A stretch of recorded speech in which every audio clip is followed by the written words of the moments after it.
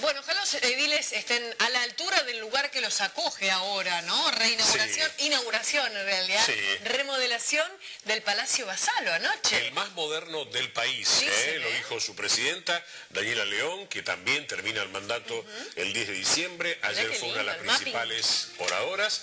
Y esto se veía anoche, ¿eh? Esto salía en simultáneo por Canal 3 y por Canal 5 con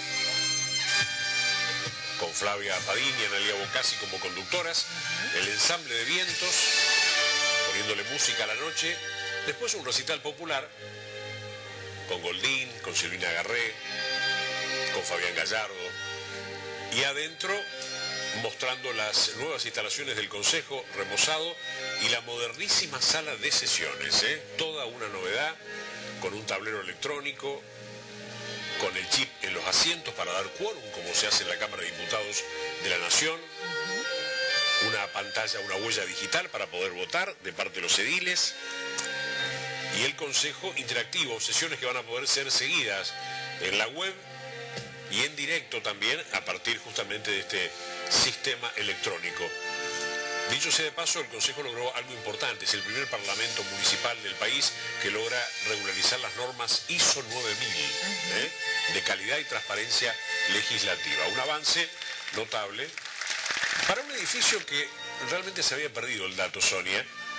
Cumple 100 años. Porque eh, Basalo, el doctor Bartolomé Basalo, lo encargó en 1911 y se terminó de construir en 1917 hasta bien pasada la década del 50... Es una belleza. Es una belleza, claro. Y hasta bien pasada la década del 50, este no fue sede del Parlamento Chico de Rosario. ¿eh? Un avance notable, ayer estaban todos muy, muy contentos, los concejales salientes, los nuevos que juraron, había autoridades, también delegación consular de la ciudad, la intendenta Mónica Fein, todos participando de este gran evento del nuevo Palacio del Consejo Municipal de Rosario.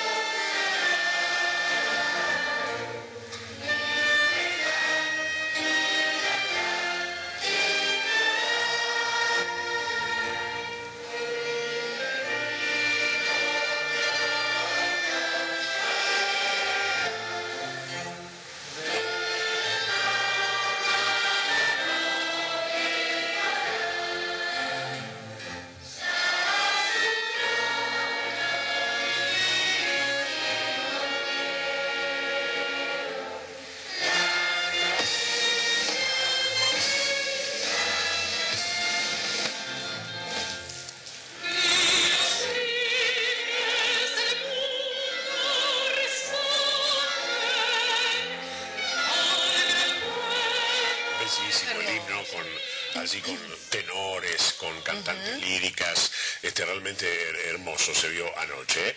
Por supuesto, como toda inauguración, había algunas partecitas que faltaban hay una cortina negra en el lugar para que no se vea. Todavía estaba trabajando los salones en algunas cosas, pero ha quedado muy, muy lindo el, palacio que se merecía.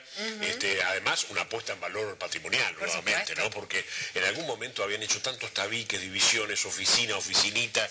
era un laberinto. Era un laberinto, que incluso ya en algunas partes era peligrosa para los propios empleados. Así que se encargó esta remodelación.